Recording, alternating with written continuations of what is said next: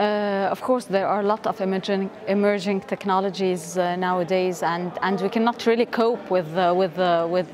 how much fast the technolo technology is evolving. And of course, there are a lot of opportunities, but at the same time, there are challenges. So there are challenges related to how much people have access to these technologies and how much they can really use these technologies for the, the for innovation and how much their environment as well is really fostering innovation and how much it's fostering the, the, their knowledge to be able to use these technologies. So there are many challenges and at the same time a lot of opportunities. So, so technology can be used for for for a lot of good things. We, if, if I want to, to talk from uh, based on my ex experience, so we are working a lot on journalism, so and media development, and how can because you know all the world now is uh, all the world all around the world there is a debate around the future of journalism and how much fake news and technology are really taking the place of journalists with the artificial intelligence. Now we can see a, a TV host that is a robot, for example, etc.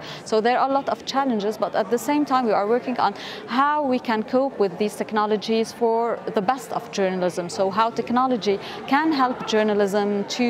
uh, to to use innovation in a better way to reach more audience, let's say, and how also to use technology in order to be able to, let's say, analyze, uh, analyze big data so that we can work on data journalism and things like that to inform the public and to filter all this, these information, how the technology can be used as well to filter all the information so that we would have accurate information and, and how much media literacy, for example, is needed. So, of course, technology is an opportunity and there is a lot of work that should be done in order to, to understand these emerging technologies so that we can use them as opportunities in different fields.